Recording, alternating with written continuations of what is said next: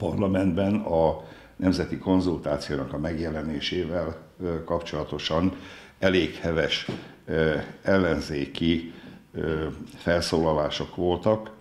Hevesen támadta az ellenzék a parlamentben a legújabb nemzeti konzultációt, mely a családok védelméről, azok megerősítéséről szól, emlékeztetett a szerda délelőtti gyulai sajtótájékoztatón Kovács József.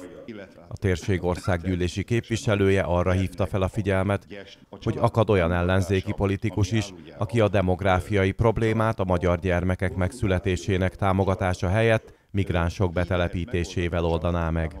Nagyon sokan élnek a kitöltés lehetőségével és igényével, és a válaszaikkal a kormány azért dolgozza fel ezeket a kérdőíveket, mert az emberek véleményére olyan értelemben kíváncsi, hogy jó úton jár-e a kormányzat a család ö, ö, támogatási rendszerével.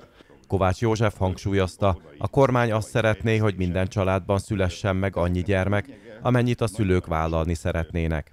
Ezért hoztak a gyermekvállalás támogató intézkedéseket a családi adókedvezménytől az otthonteremtési támogatáson át a bölcsődék, óvodák korszerűsítéséig. 2010-hez képest összességében megduplázódtak a családoknak jutó támogatások. Kovács József elmondta, most van lehetőség arra, hogy további intézkedésekkel támogassák a magyar családokat.